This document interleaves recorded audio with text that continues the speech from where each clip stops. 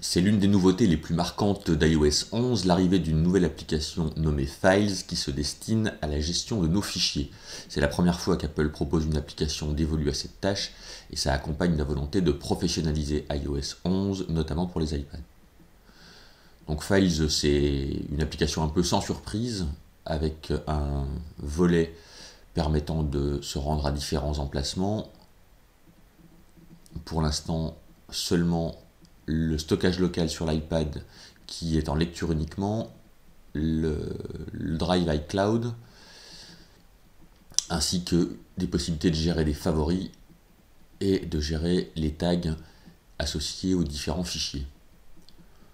Pour chaque fichier et pour chaque dossier, on peut obtenir des critères de tri par date, par taille, par tag, etc on dispose d'un menu local pour accéder par exemple aux informations de fichiers. L'application supporte évidemment le glisser-déposer, qui est aussi une des nouveautés d'iOS 11.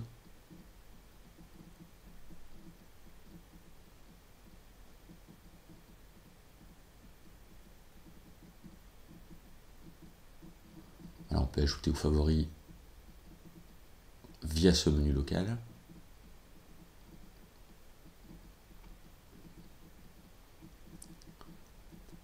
Par contre, celui-ci ne fonctionne pas pour l'instant avec les dossiers spécifiques aux applications, pour une raison qu'on ignore. La manipulation classique de glisser le doigt vers la gauche pour supprimer un élément est de la partie.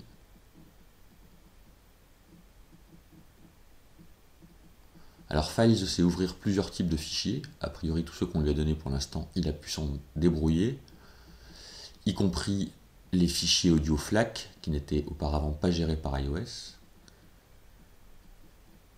Ici, vous voyez qu'on accède aux informations sur un fichier FLAC qu'on va pouvoir lire.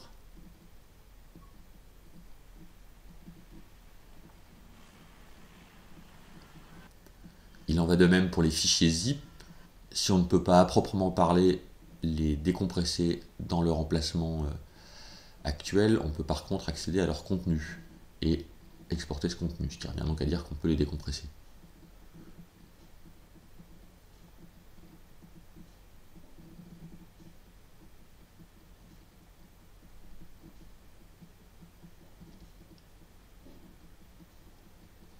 Dernier élément qu'on met en avant, l'élément récent qui permet de retrouver tous les fichiers qu'on a modifiés récemment.